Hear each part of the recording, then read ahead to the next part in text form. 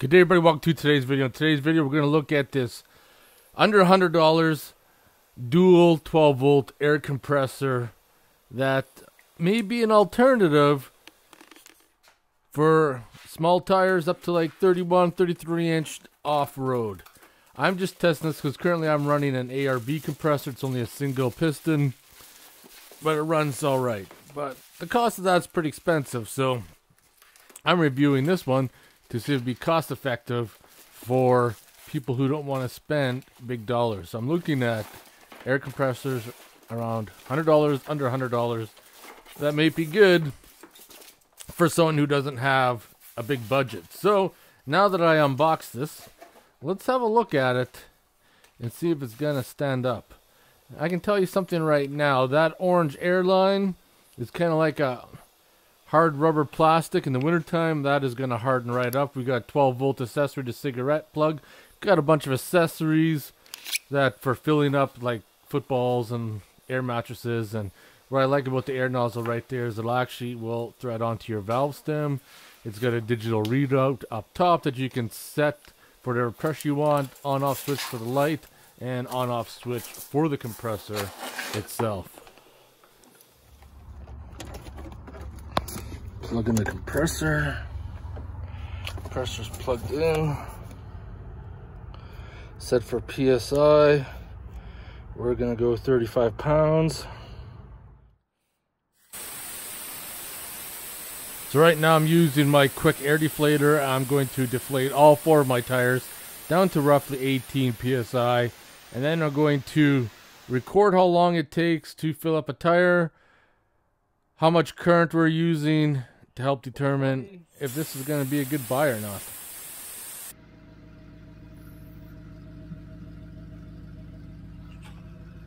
Now the key is to time it.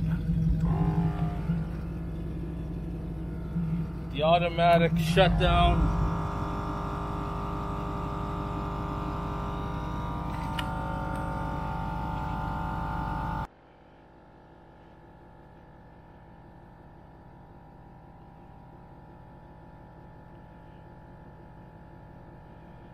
Yeah, it says you're only drawing 6 amps. It says it's supposed to be 25 amps. Seems like we're only pulling 6.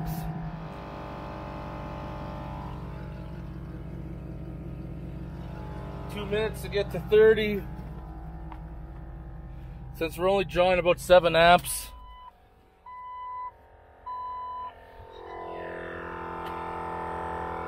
Oh.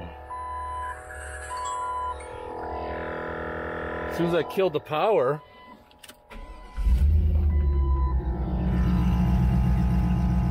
yeah, key running, a little bit more oomph. Now we're at 32.5, 238.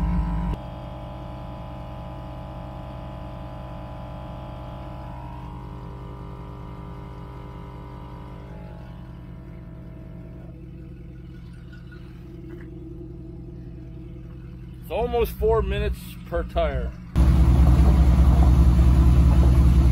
Guess I deflated that one down. Turn the power off, reset. I'm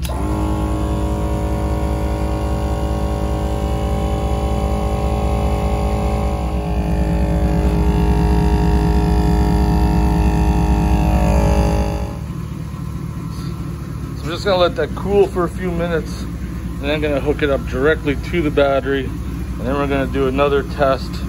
We're gonna time it to pump up this front tire to see if there's any difference if we're using these terminals connected right to the battery or if we're using my high output 12 volt that I ran inside.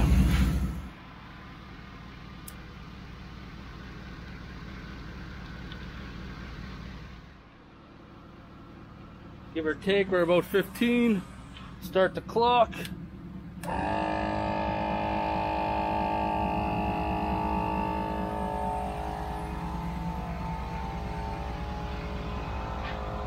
Oh, so we do get a few more amps by running directly off the battery.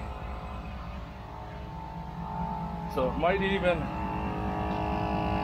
might even fill up a little faster.